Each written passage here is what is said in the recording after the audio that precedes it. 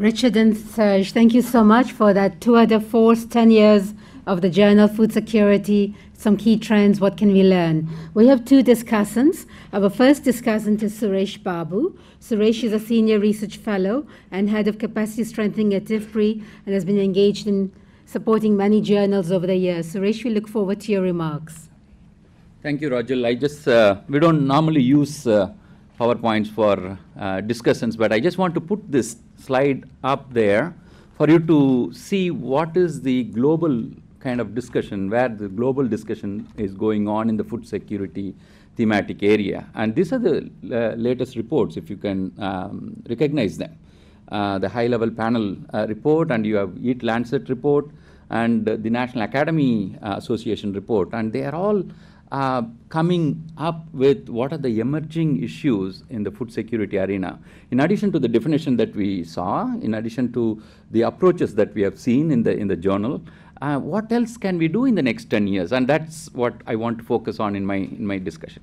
Uh, where does this journal go? Um, so far, Richard and the team has done excellent job. Uh, I can say that because I've been part of that uh, as, a, as part of the editorial board and we have been reviewing papers. It's not an easy job to review the papers with the multidisciplinary nature of papers coming to, to the, but we have done a wonderful job, Richard. Congratulations. And, and, and now uh, Serge is taking over. But what can we look uh, uh, in the future, in the next 10 years, and what are the emerging issues that are coming out, some of which Serge already mentioned, and, and I want to focus on that. So I kind of looked at this in the last uh, couple of months. What is this report telling us in terms of to do in terms of research, in terms of taking the research out to the to the people in terms of policy making, and what do the policy makers expect out of this research in order to implement actions on the ground, either in the context of policy or program implementation. And that brings me to the issue of uh, um, the journal itself, how the journal has uh, developed itself into a, a, a journal for a science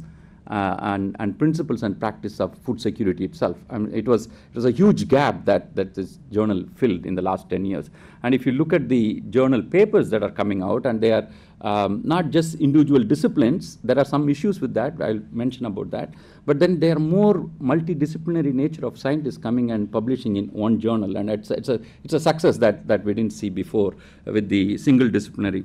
But the journal also helps us to think through um, how we can use the multidisciplinary nature of the problem of food security or food insecurity and how do we bring the uh, disciplines together. And but academic disciplines although the phytopathology society has started this journal um, still academic world is still uh, silos. They are still uh, working on silos and either in europe or in developing countries. Uh, um, and that is a problem for us in, in terms of bringing scientists together to solve problem not at broad global level but at the at the local level as well.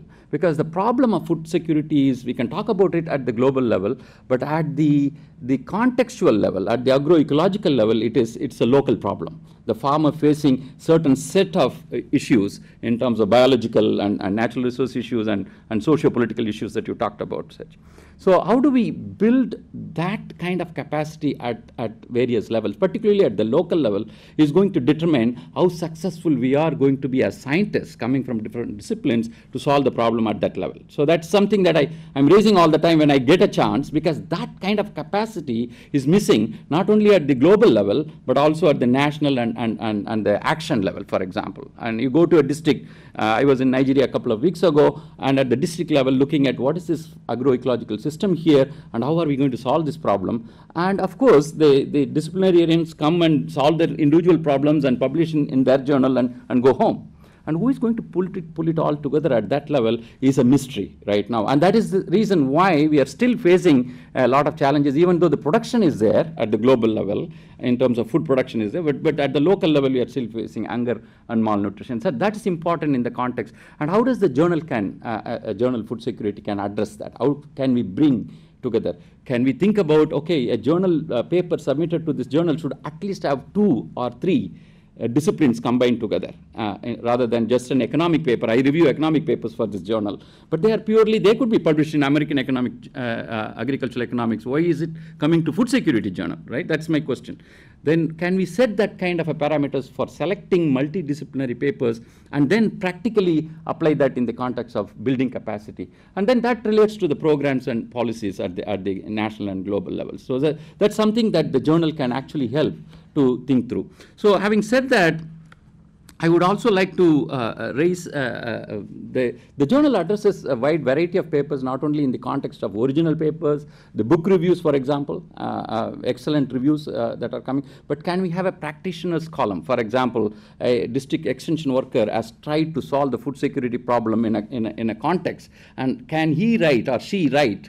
Uh, about the experience of how the sciences were helping him in order to solve the problem at the, at the local level. And, and that would be a useful section, practitioners section, uh, that can be reviewed differently, of course, uh, but it may not be a highly uh, academic kind of exercise, but learn from the, from the field, kind of. That may be, a, uh, just I want to leave that as a suggestion. But you already mentioned about conflict and migration, uh, Serge. I mean, that's something that I wanted to raise.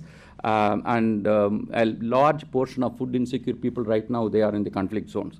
And how do we learn from how they are meeting their food needs and how science is helping them to address the food, food security uh, issues is something that we can expand on. And since you already mentioned, I want to support that as well. And more and more, we are talking about resilience, resilience of the food systems.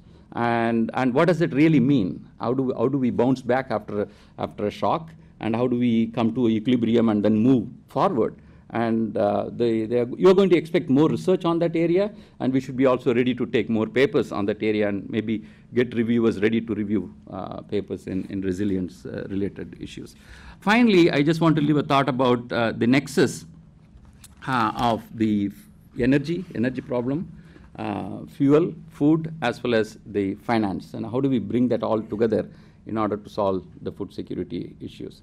And my, my own issue of, uh, the, I, I deal with capacity issues all the time on the ground, the capacity of the research systems, capacity of the extension systems, and hi- higher education system capacity. How can we help these systems to build institutional capacity through also having some papers related to institutional development? Thank you very much.